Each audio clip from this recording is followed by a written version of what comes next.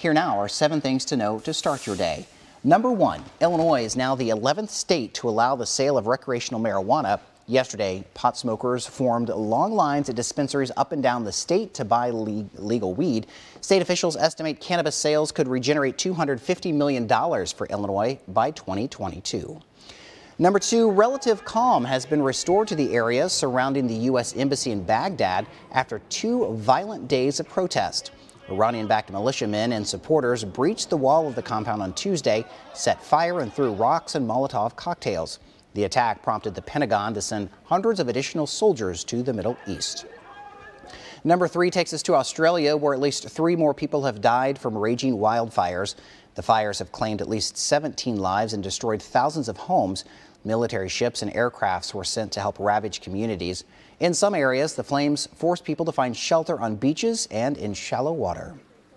Number four, the NBA is mourning the passing of Commissioner Emeritus David Stern.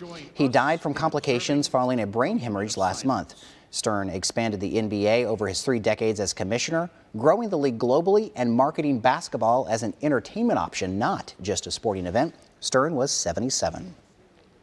Number five, today will be the first official trading day of 2020 since markets were closed for the New Year's holiday. It's predicted to be a pretty quiet day with no major economic data or earnings, uh, earnings announcements expected. The Dow will open at 28,538. The Nasdaq set to open at 8,972. S&P set to open at 3230. Number six, the world's oldest living person celebrates a birthday today. Kane Tanaka of Japan turns 117. Guinness World Records, which verified her standing, says Tanaka was born prematurely in 1903, the same year the Wright brothers achieved first flight. She's still six years shy, though, of the record for oldest person ever.